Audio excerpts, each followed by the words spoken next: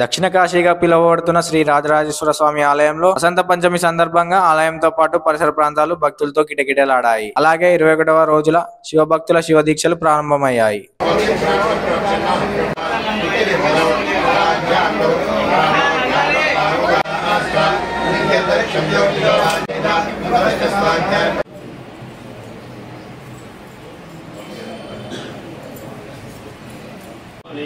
Prabodha